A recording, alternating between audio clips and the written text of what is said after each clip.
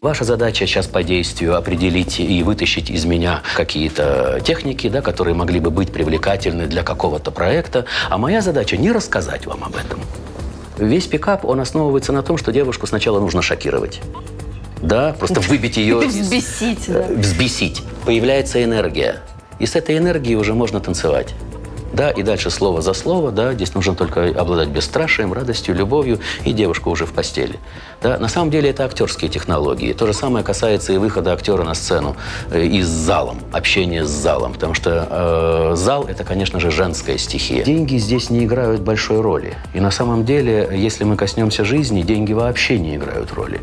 Играет роль сама жизнь, сам драйв жизни. Вот за это люди готовы платить.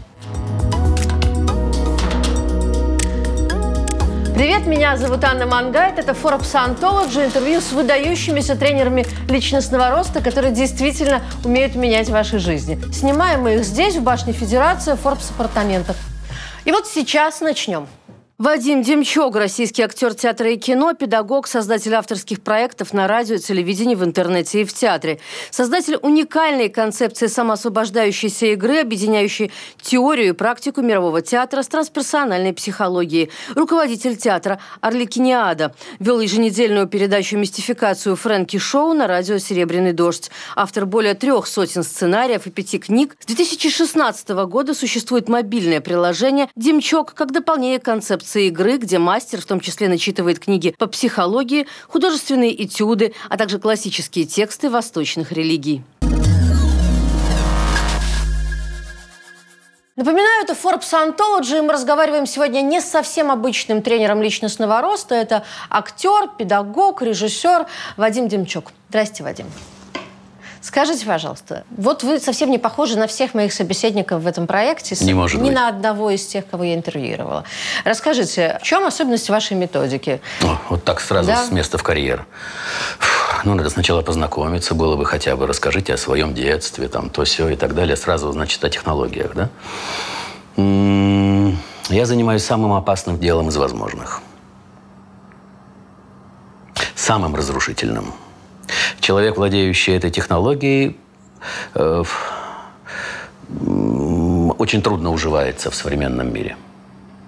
Да, и я думаю, что вы уже заинтригованы. Я ставлю центр. Что это значит? Это большой секрет. Э, Это обнаружение точки, на которую опирается весь внутренний космос. Э, Мы, конечно же, э, наверное, осведомлены все э, о том, что все пространство опирается на какую-то одну маленькую точку, благодаря которой все происходящее в мире обретает равновесие. Да? И вот эту точку надо найти. Зачем мне это нужно? Не нужно. Ради бога. Никого ни к чему принуждать нет смысла. Не нужно? Не я надо. пошла. Да. Ну все, мы закончили. Спасибо. До свидания. Я слышала, что вы э, в рамках ваших тренингов играете с людьми, которые к вам приходят. Нет. А что Мы же? живем. А Мы живем, потому что все соткано из игры. Нет ни одного явления, которое не соткано из игровых ингредиентов.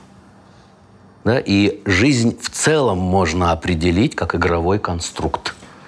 Да? Мы сейчас играем с вами в интервью. Вы сейчас находитесь в определенной ролевой позиции. Да? Эта ролевая позиция соткана из определенных ваших убеждений, ингредиентов, прожитых жизней, детства и так далее. Разных комплексов, страхов, вожделений, желаний, интересов и так далее. Мы сейчас схлестываем с вами два пространства.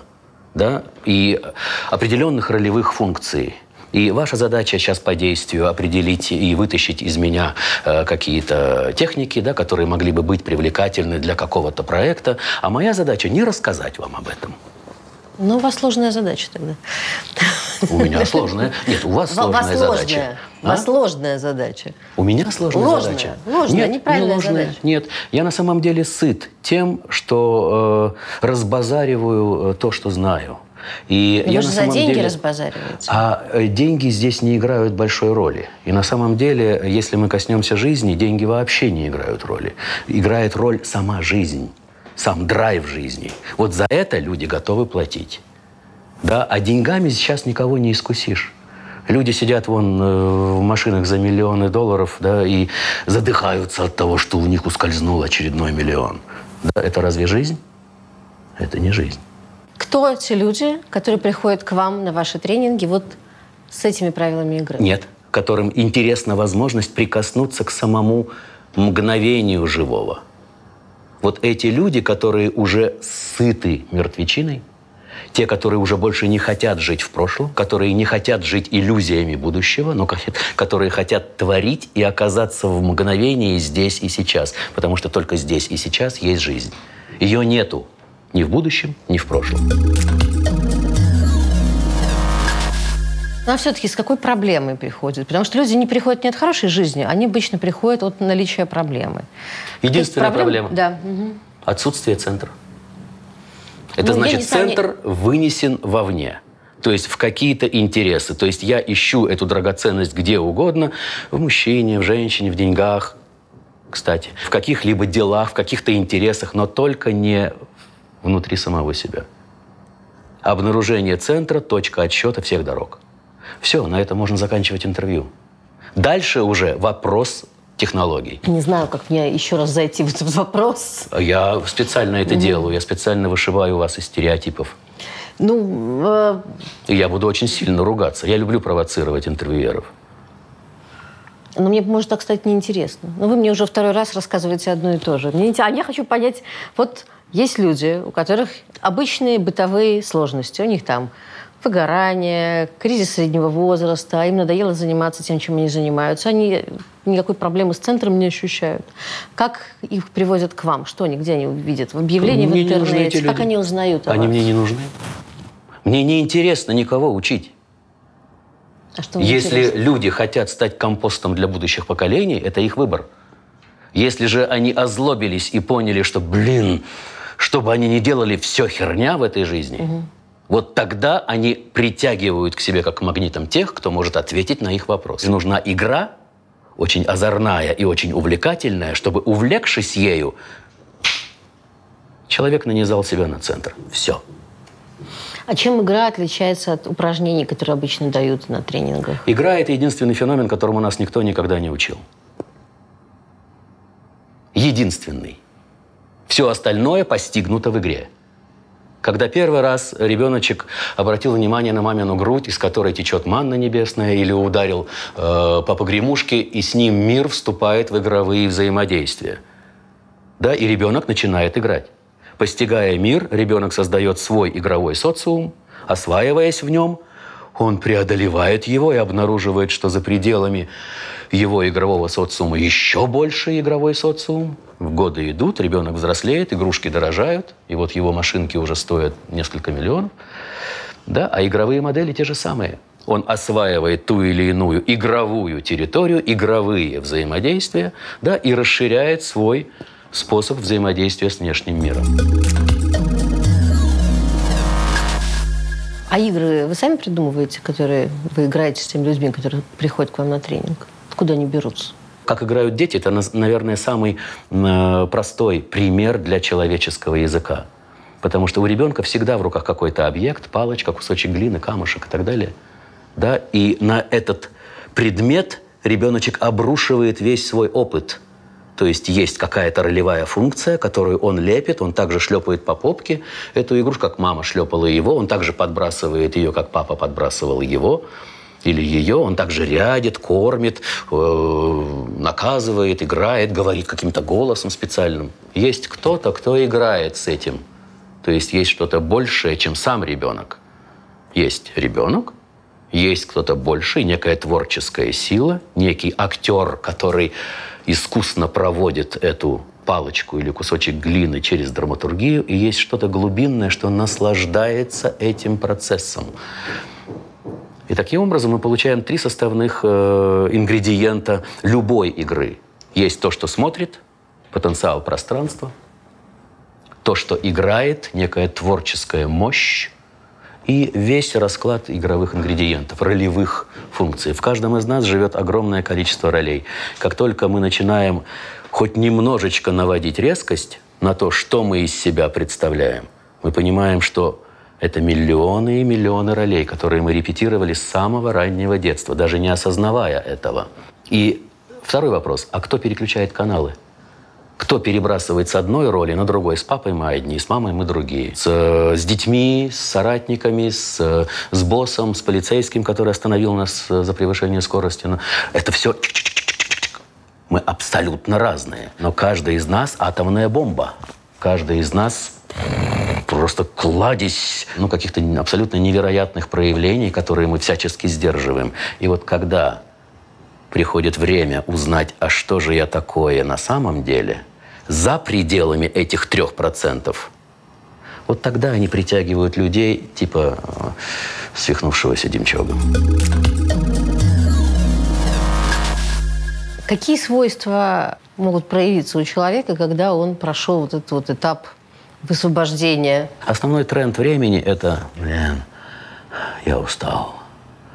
Нет энергии, ни на что нет энергии.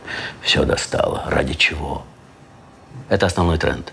Чашечка кофе с утра, взбодрился на работу. Ладно, фу, растрясся, вроде бы появилось желание жить. Фу. К вечеру опять все уходит. Э, очень такой суетливый сон. И утром опять. Да? Человек, который знает центр и знает себя целостного, он знает источник живого, он знает в чем и где и как он жив. И как только из этой точки живого он выходит, и, ну, интегрирует себя в те или иные необходимые действия, все эти действия исполнены невероятной силы и харизмы, потому что он является очагом интереса для всех. Вот такой, да? Как только ты обрел это бесстрашие, из бесстрашия естественным образом возникает радость. Потому что, блин, на моих руках так много ингредиентов, я могу соединять такие удивительные глубокие смыслы. Я могу творить. Потому что творить можно только здесь и сейчас, только зная центр. Да? А если ты знаешь и исполнен радости – ты это не можешь, эту радость удержать при себе. Ты начинаешь разбрызгиваться, и так творится любовь. Мне очень нравится этот этюд, это очень красивый. Ничего не поняла это... про центр. Да, да, да. Вот очень многие, люблю разговоры очень про любовь. Очень многие ничего вообще... не понимают, да. И, а я очень люблю, я очень люблю злить э, персонажей, нет, нет, которые на меня смотрят. Наоборот, я восхищаюсь, жду, когда появятся те слова, которыми я могу хоть как-то подключиться, а которые я не планирую вам давать те слова, а которые вам нужны, потому что я планирую сказать только то, что я считаю правильным сказать. Абсолютно, я с вами абсолютно абсолютно согласна. Вы мне рассказываете то, и что это, вы считаете нужным ответить. Это прекрасное интервью. Это когда... Э, но вообще эмоции начинают зашкаливать через край, и действительно, э, вот это на самом деле самая главная опора э, для хорошего живого интервью. Сейчас творится жизнь. Вот прямо сейчас. Я сейчас олицетворяю того самого скучного, приземленного человека, предположим, из мира бизнеса. Да вот он такой так унылый. Он, он, правильно, вот он из тех, кто все время уставший, бодрится кофе, нужно нагнетать энергию на работе и передавать ее людям. И приходит к нему, он человек совершенно из другого санатория который измеряет, говорит и измеряет все другими категориями. Мне очень трудно, конечно, нащупать э, что-то, за что ему... В чем... Что, Давайте нащупывать. Что я могу купить в этой ситуации? А я ничего не планирую продавать. Ну как? Вы продаете тренинг? Нет. Ну как же, конечно да я не же, продаю, да. в том-то и дело. Я не продаю. Для организации этой передачи знаний необходимы средства. И все. Я просто организовываю процесс. Но этот процесс является следствием запроса. Я не, не, не манифестирую везде э, о том, что купите нет. И правда, на самом деле, э, то есть это особый уровень уже, как сказать, присыщенности, когда тебе, у тебя нет необходимости э, э, что-то кому-то навязывать. Это такой уровень глубины знаний, да, потому что это, это бриллиант. Если он вам не нужен, окей.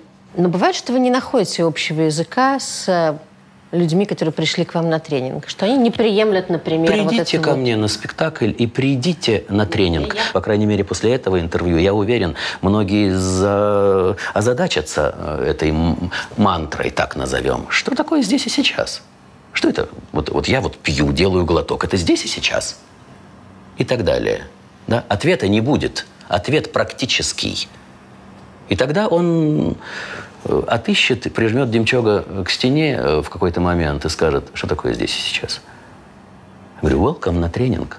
Там мы организуем несколько правил в школу игры, да, и просто с самого начала пойдем, и ты внезапно обнаружишь, что внутри твоего живота трепещет какая-то бабочка и обнаружит свой центр и начнет вырабатывать тот самый баланс, обнаружит ту самую точку, опираясь на которую весь его внутренний космос приходит к пониманию целого.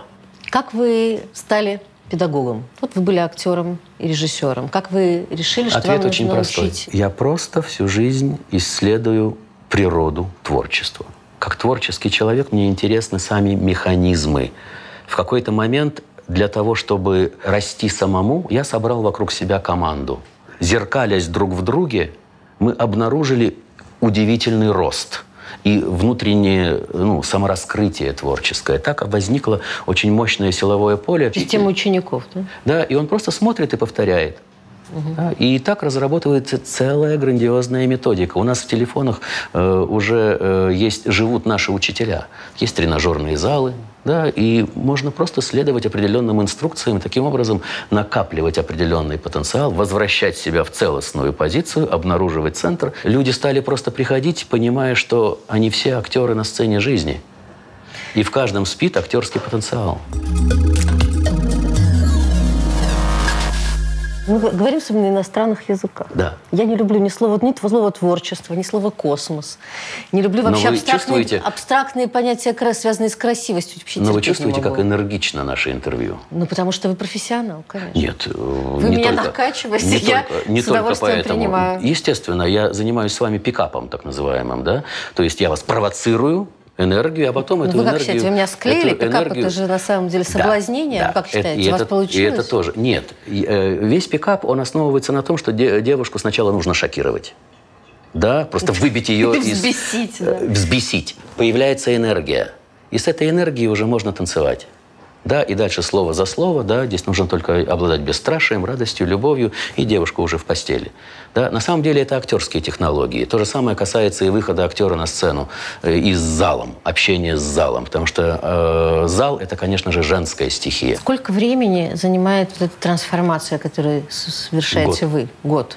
А вот в рамках... Год, например, если есть очень мощный, пробужденный, мотивированный отклик, если человек хочет работать. И, то есть И в год течение- это если все, если еще человек мотивирован и готов, Конечно, да? конечно. А если он изначально не понимает, к чему быть готовым, не, вот как типа я, не знает, что будет, изначально агрессивен, настроен, О чем разговор? вы отказываете? Да не, я не отказываю, Сами я просто игнорирую. Не хочет, не надо. Я хочу научиться харизматичному спикингу, я хочу научиться умению фокусировать вокруг себя внимание, я хочу научиться стягивать энергию, я хочу командообразование, и пошло-поехало, и так далее. Да, как удерживать сильных, развитых людей э, в контексте вот, э, командной работы и так далее. И дальше уже начинаются э, технические вещи. Да? И есть один тренинг, второй тренинг, э, первый модуль, второй, третий, четвертый, Демчок 100% и так далее. Но я никого не тяну. И более того, я агрессивно никого не тяну. Да, если человек не проявляет интереса или пришел просто изучить мой тренинг, сам сидит в уголке и не включается в те контексты или упражнения, которые я предлагаю, я просто его игнорирую. И мы выполняем эти, на территории этих трех процентов, э, которые знаем о себе и какими мы, собственно, и нужны современному социуму, эти скучные ритуальные функции, от которых уже, на, ну, уже тошнить начинает на определенном возрастном отрезке. Вот что страшно. Да? То есть, когда человек умирает, и он не знает, что такое жизнь. И он прекрасно понимает, он мертв. Он не жил ни одного мгновения в своей жизни. Может быть, до 5-6 лет в своем детстве, когда из него брызгала эта энергия жизни. А потом он умер. А тем, кто к вам приходит, вы их э, заставляете это сформулировать для себя? Ну, вот что умер, что Конечно. все вообще ноль, что с Я говорю с ними на таком же языке, на каком говорю с вами. Жестите. Ну, если это можно назвать жестью, то э, ради бога. Э, и у меня все проекты такие, как сказать, они провокационные. Но на сколько процентов это традиционные работают. актерские практики, которые дают в актерских вузах? А нету традиционного понятия традиционности. Традиционность э, это как бы вопрос давно ушедших в прошлое э, вещей. Есть Константин Сергеевич, есть Михаил Чехов, есть Гротовский, Арто, Брук, э, Дзамима Такия, Хуан Фанчо. Я могу много перечислять перечислять разные традиционные имена, которые остались в своем времени. Сейчас мы общаемся с совершенно другими людьми. Наши детки вырастают в виртуальных реальностях. Да? Они за пределами тела. Да? И это персонажи, которые уже переключают себя как каналы в телевизоре. Его, а нельзя играть самим, без тренинга? Можно. Ну, но... то есть, может, есть какие-то игры, Я которые мне позволят э, без да. 120 э, дружелюбных людей это делать в э, лагере? Э, можно. Мы, э, Я уже мы... не люблю, когда 120 да. человек вокруг меня Мы люди, зеркалят, мы такие трогательные говорите. существа на самом деле. Самое главное, э, почему мы тоскуем, да, и это, наверное, самое сосущее под ложечкой э, чувство и запрос – это то, чтобы найти кого-то, кто увидит нас во всем том объеме возможностей, какой в нас на самом деле спит. Нам очень трудно самим пробудиться. Должен появиться кто-то... Психотерапевт. Э, нет, любящий глаз. Некий любящий глаз. Психотерапевт зарабатывает. Есть другие формы отношений. Но как только появляется кто-то, кто говорит, ты больше – в тебе такой невероятный потенциал. У нас у всех замирает сердце. Это вы любящий глаз? А? Это вы любящий глаз? Ну почему вы сразу так все э, как бы конкретизируете? Я говорю э, непосредственно ну, о глубинных вещах. У меня тоже есть кто-то, кто видит меня. Э... Ну а как вы помогаете появиться этому любящему глазу в жизни человека? Да, есть очень мощный контент тренингов, да, который обнаруживает природу нашего собственного дара, нашего глубинного гения.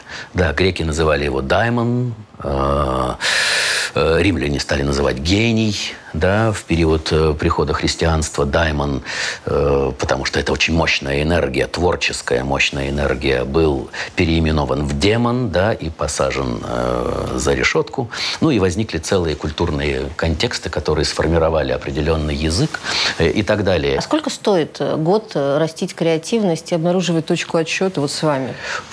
Я не, не подсчитывал это. У меня нету такой программы, которая... Я не продаюсь. Но вы же не гуру в секте. У вас же все-таки это бизнес. Да нет, нет? я актер. Вы спутали чуть-чуть. Есть, наверное, персонажи, которые занимаются... Да вы тренингами занимаетесь же не бесплатно? Есть запрос, собирается команда, меня приглашают. Другой подход. Я актер. Я выхожу на сцену, и я работаю с живой энергией да, и я создаю определенные проекты, э, которые можно перечислить, и которые, как бы, я думаю, и так все уже знают, потому что они обладают какой-то удивительной привлекательностью, они манят, они... Самая большая валюта, на самом деле, в это современном скромность. мире – это внимание. Так. Да, и внимание скоро э, люди, наверное, научатся э, копить и расплачиваться этим вниманием. Потому что умение сфокусировать в современном мире внимание – это адский труд. Это очень дорогой продукт. Потому что детки, например, или, и, да и взрослые, это вот расфокусированность внимания – это самый больной тренд. Ну, тренд э, болезни такой э, современного общества. Потому что как только внимание расфокусировано, ничего нельзя сделать. Нужно сначала выработать, накачать мышцы, концентративного усилия. Этого в современном мире нет. Очень мало кто владеет сконцентрированным вниманием. Дайте мне такое упражнение. Придите на тренинг в силовое поле э, конкретной работы. Люди выходят в круг и начинают что-то делать. Тогда это эффективно. А персональные бывают тренинги у вас? У меня нет времени тратить теперь на персональных людей. Я занимаюсь как бы э, созданием силовых полей. Да, и мне нравится, когда возникает очень мощная энергия, и зеркалясь друг в друге, люди узнают свой объем. Вот эти игры мне интересны. Спасибо большое. Было очень интересно. Вообще ни на кого не похож Вадим Демчук. Как минимум э, стало Куда любопытно, что же происходит дальше после того, как вот это вот выключается камера, э, и э, Вадим перестает быть актером и становится просто обывателем. Бывает такое? Я, знаете, когда... А, обыватель, э, камеры еще включены? Нет, конечно, не выключены. Выключить, конечно. Нет, ну, включены, если это продолжение интервью. Э, Вы знаете, я брала интервью у Жириновского. Э, Жириновский вот так вот в жизни вот так вот примерно Я знаю, я а потом включает камеру, делает вот так. И все, и все просыпаются. Я знаю, я знаю. Э, он, а, да, артист на политической сцене. Обыватель – это мертвец если просто назвать вещи своими именами. Ну, потребитель, да, это потребитель это, это мертвец. Потребитель это всегда где-то вовне. Мне не хватает чего-то, что мне нужно потребить. То есть это позиция бедного мертвого человека. Человек, который находится в позиции богатого человека, да, он всегда в контексте жизни, да, плетение здесь и сейчас. Такой роутер раздает. А? Да? Я сожалею, то, что вы трактуете это все таким узким обывательским языком, потому что все гораздо богаче. Как вы узнаете на тренинге Вадим Демчук? Да? Хорошо, спасибо. Камеру можно выключить. Ну, первую рекомендацию, которую можно дать, это кончик носа. И всегда во всех ситуациях, какие бы могли бы вас взволновать или выбить из центра, то есть всегда есть возможность сфокусироваться на кончике носа и начать дышать вдох-выдох за один счет. Два. Три. И таким образом мы даем мозгу сфокусироваться на какой-то точке, сузив его внимание, которое обычно разбрызгивается на все раздражающие э, э, эффекты вовне, и мы успокаиваем ум. И как только ум успокаивается, мы начинаем видеть ситуацию гораздо более широко. И из этой широкой позиции делать выбор. Выработать этот навык – основа всех основ. Самое простое и коротенькое – это когда нас захватывает огромное количество эмоций, разрывает на части, то замереть на мгновение и спросить себя, в какой роли ты сейчас. И как только возникает этот вопрос, ты сразу понимаешь, что ты не есть эмоции, которые тебя захватили, ты не есть ни одна из мыслей, которые через тебя текут, ты не есть даже свое тело. Ты есть то, что смотрит, то, что играет, и та ролевая функция, в которой ты сейчас беснуешься. И тебя разбирает смех. Ваш осенний университет Forbes антология 12 увлекательных уикендов осенью 2019 года, посвященных главным технологиям персонального развития. 12 звездных тренеров и их лучшие практики. Уникальное пространство на головокружительной высоте в Сити, 90 этаж башни Федерация. Все, что деловому человеку нужно узнать о трансформации, чтобы владеть лучшими инструментами персонального роста.